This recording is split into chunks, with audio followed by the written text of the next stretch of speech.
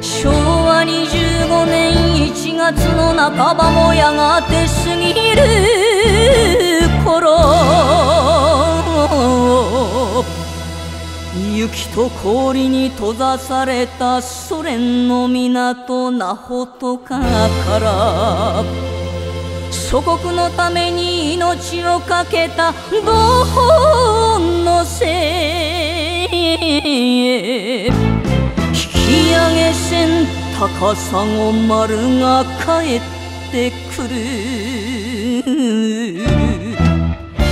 父が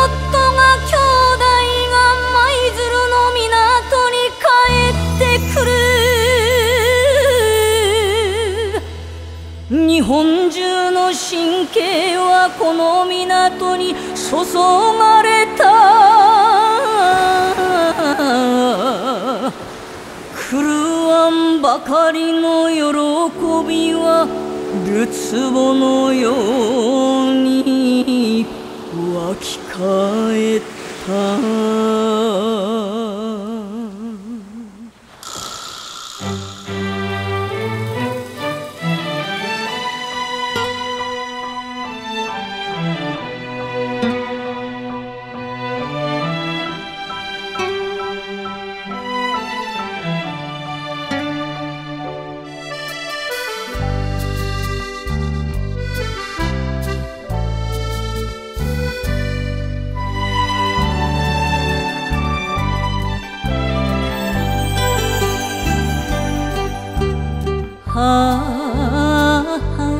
きました。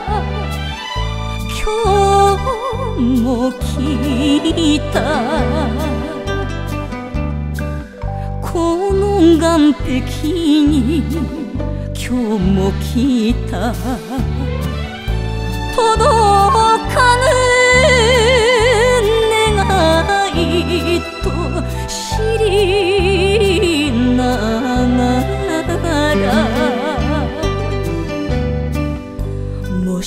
やもしやにもしやもしやに引かされてまた引き上げ船が帰ってきたのに。今度もあの子は帰らない。この岸壁で待っている。わしの姿が見えんのか。港の名前は舞鶴なのになぜ飛んできてはくれぬのじゃ。帰れないなら大きな声で。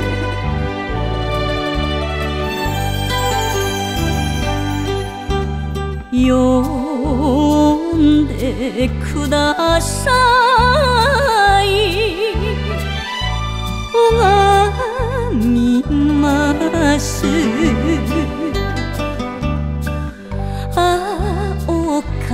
さんよく来たと。